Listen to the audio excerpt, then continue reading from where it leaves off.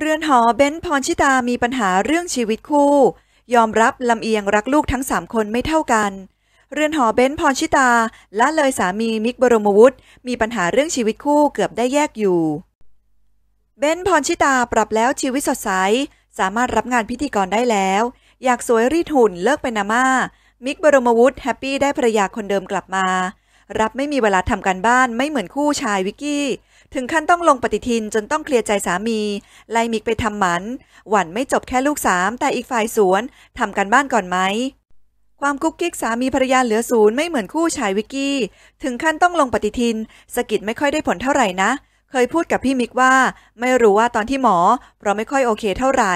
สงสัยนางแต่อย่างน้อย ก็ได้อยู่ด้วยกัน ได้สนใจเขาอันนี้สำคัญนะเพราะก่อนหน้านี้เขาเคยพูดกับเบนซ์ว่าเขาเหมือนเป็นท่าอากาศอยู่ในบ้าน นางน่าสงสาร เรามัวแต่มองลูกนางก็น้อยใจ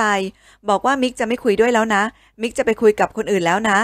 ถ้ามิกมีปัญหาห้ามโกรธนะ เพราะอยู่ไม่ฟัง เพราะไม่เห็นเขาเลย เราก็รู้สึกแย่นะ แต่ก็อธิบายกับเขาว่าก็ทำหน้าที่แม่อยู่ไง แต่พี่มิกเป็นคนโอเคคนหนึ่งเลย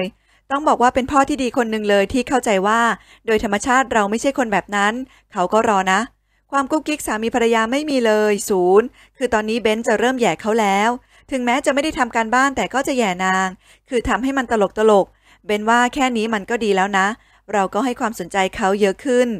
ล่าสุดไปดูหนังกัน 6 ปีไม่ได้ดูหนังกันเลย ตั้งแต่คลอด เพิ่งไปดูหนังครั้งแรกด้วยกันสองคน ปกติไม่เคยไปไหนเลย กินข้าวยังไม่เคยไปกันสองคนเลย แต่ปริมร้องไห้ เปิดอกคุยกันจริงจัง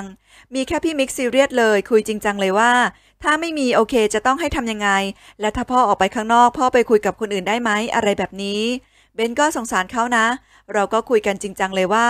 พ่อเข้าใจใช่ไหมว่ามันเป็นแบบนี้ เขาก็บอกว่าพ่อเข้าใจ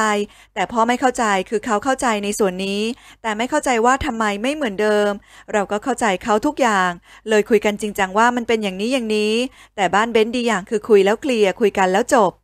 ล่าสุดทางด้านเบนพรชิตาได้ออกไปรายการคุยแซบโชว์ โดยบอกว่าตนเองรับหน้าที่ดูแลลูกๆ ด้วยตัวเองทั้ง 3 คน 24 ชั่วโมง